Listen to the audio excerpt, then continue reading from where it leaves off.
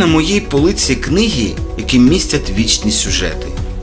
Так називають такі життєві ситуації, що повторюються в літературі. За ними можна пізнати вдачу народу, осягнути його минуле і побачити те, що на нього чекає в майбутньому. Одним з таких сюжетів є історія бідної дівчини Катерини, яка покохала москаля. Нам ще у школі кажуть, що ця героїня уособлює долю України. Про це нам вперше розповів Тарас Шевченко. Багато років пізніше, у столітті 20-му, по-новому цей сюжет переписав Микола Хвильовий. Згадаємо цей сюжет, хоч він і добре відомий. Е, була собі бідна провінційна дівчина, яку звали Катерина. І закохалася вона в москаля.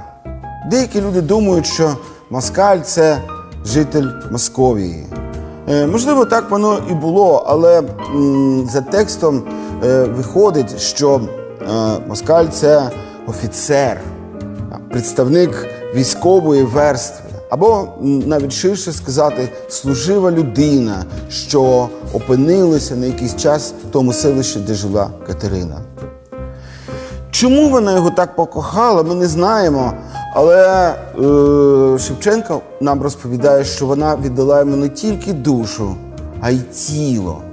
І це незважаючи на те, що всі, і батьки, і друзі казали їй, що е, ці взаємини нічим добрим не скінчаться. Ось як про це кохання розказано в поемі. Не слухала Катерина ні батька, ні неньки. Полюбила москалика, як знала серденько. Полюбила молодого, в садочок ходила, поки себе свою долю там занепастила. Кличе мати вечеряти, а донька не чує, де жартує з москаликом, там і заночує. Не дві ночі карі очі люба цілувала, поки слава на все село недобре стала. Нехай собі ті люди, що хотять, говорять, вона любить, то й не чує, що вкралося горе.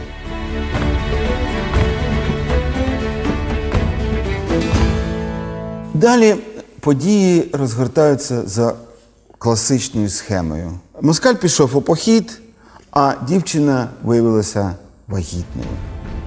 І залишилося їй сором, ганьба, засудження оточення. Народився у неї син, але і це не принесло їй щастя, тому що батьки засудили її і вигнали з дому. Катерина плакала, сумувала, е, навіть пішла шукати москалика. Але Іван не прийняв її, коли вона його знайшла, і по-хамськи відповів: Отвяжись, дура. І ось перед нами картина самогубства Катерини. Біга Катря боса лісом, біга та голосить, то приклона свого Івана, то плаче, то просить, вибігає на возлісся, кругом подивилась, та в яр бежить, серед ставу мовчки опинилась.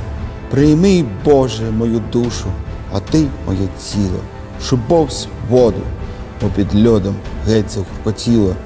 Чорнобрива Катерина знайшла, що шукала, дунув вітер понад ставом, і сліду не стало.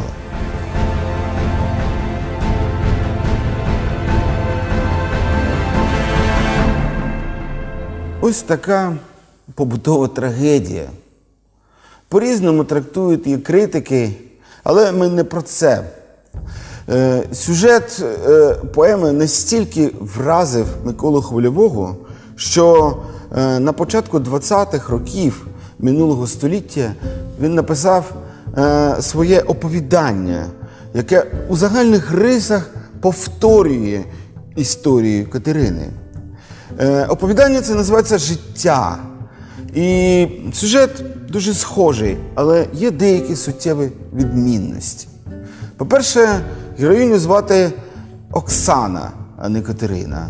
Е, По-друге, ми е, знаємо чітко, місце, де відбувається дія, то космос хвильового, який з'являється в багатьох його творах.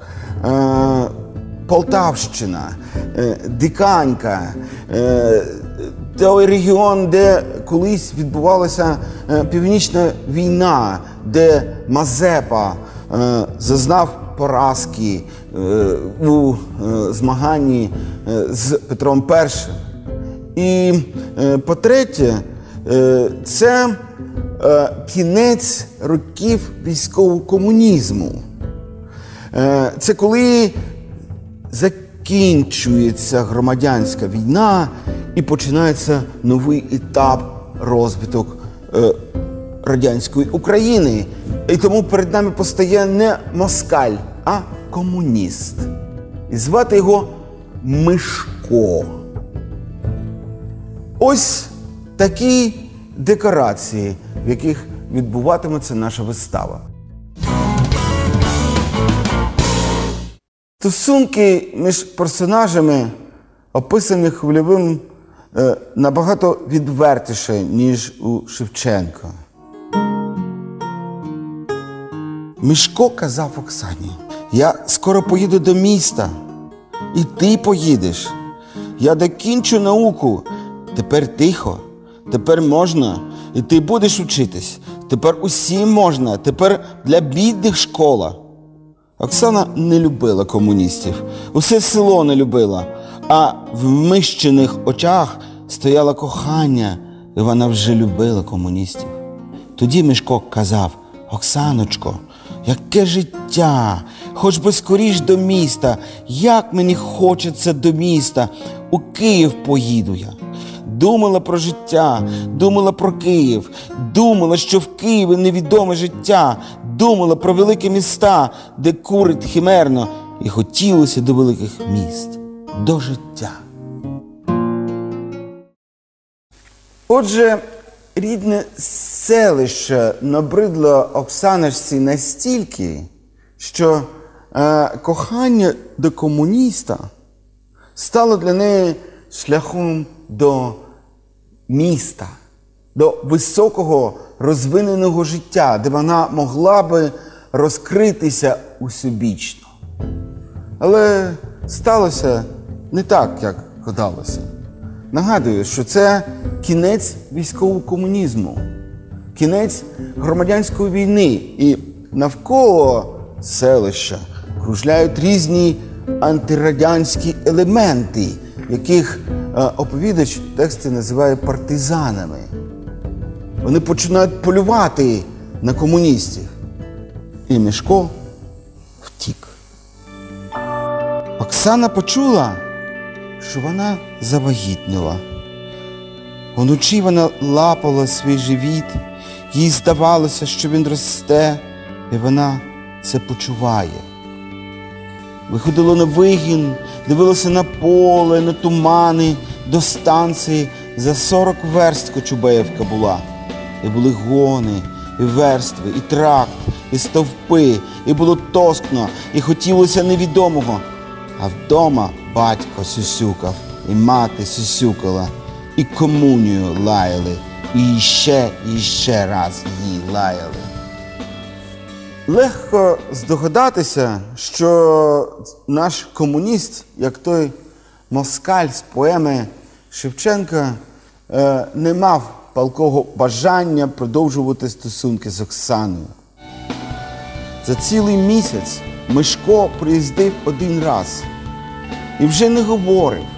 А коли говорив, то про якусь суворість, про нудоту і ще про щось Оксана не пам'ятає. А вона брала його біленьку руку і гладила нею свій живіт і усміхалася загадково.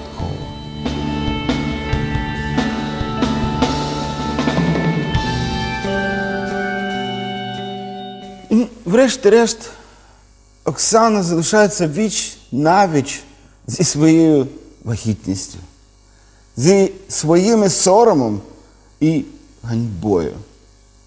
Але е, здається, що найважливішим було навіть не це, а те, що вона не змогла реалізувати свою мрію ось про те нове життя. Вона готова була кохатися чи то з чортом лисим, чи з демоном кірпатим, чи то з комуністом, аби втікти з цього замкненого середовища, в якому їй доводилося жити. Фінал оповідання відкритий. Як і треба, щоб було у модерністській прозі і у нашому невизначеному житті. Оксана зібрала таке сяке шмаття і вийшла за ворота. Сіріло, і дощу не було. Сунулись хмари невідомо куди, сунулись далеко-далеко, у далечінь, чоботи грузли об огні, а навкруги голе поле і тиша. Ще мріяла про липневі світанки, про юнисні дзвони із степу, думала про великі міста і ще про щось незнайоме, таємне.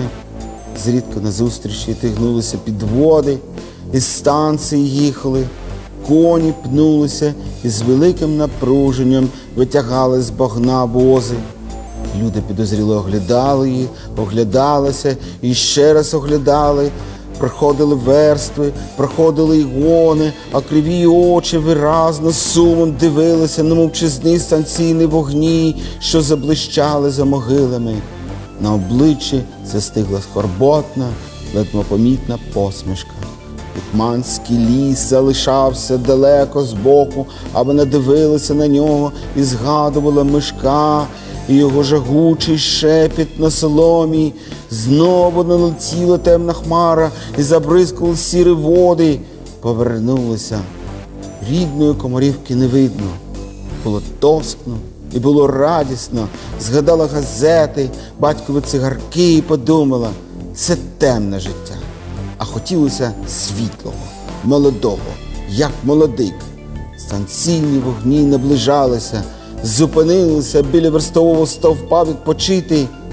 Недалеко прокричав паровик, показалося червоне око, з шумом пролетів поїзд і зник вдалині. Оксана підходила до семафора. Що сталося з Оксаною? Вона кинулась під паровик, але ж оповідач нам каже, що поїзд проїхав. Чи вона залишилася е, чекати на наступний поїзд, щоб кинутися під нього? Або вона взяла і сіла на цей поїзд і поїхала до міста назустріч тому життю, як так хотіла для себе відкрити. Хай над цими запитаннями замислюється наш глядач і наш читач. А оповідач дає нам таку підказку, начебто все ж таки фінал повинен бути трагічним, тому що доля Оксани нагадує долю Катерини. А знаємо ми про це, тому що оповідач каже, ніколи б Оксана не потрапила би в цю халепу і не полюбила б цього комуніста, якщо б вона прочитала Катерину Шевченка. А вона не прочитала і тому потрапила в цю халепу, тому що вона була неписемна.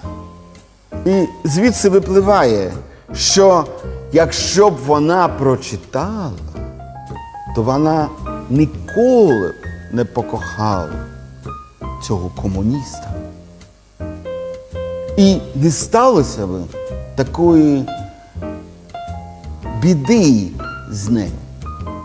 Але мені здається, що це таке іронічне припущення, навіть саркастичне, і навіть трохи жорстоке з боку хвильового. Тому що він сам не вірить в такий фінал. І я теж погоджуюся з таким розумінням е, нашого вічного сюжету. Тому що ми знаємо багатьох дівчат, які живуть на початку століття 21-го. І вони ходили в школу. І там точно читали Катерину. І цілком можливо читали хвильового. Але це їх не рятує від того, що кожного разу вони закохуються в якихось чужинців. Це відбувається тому, що, можливо, ці чужинці приносять їм, цим дівчатам, образи якогось іншого, кращого життя, якого їм не можуть дати наші українські молодики. І ця історія насправді є вічною. І вона може і далі, і далі повторюватися. Не хочеться це вірити. Але що робити з реальністю?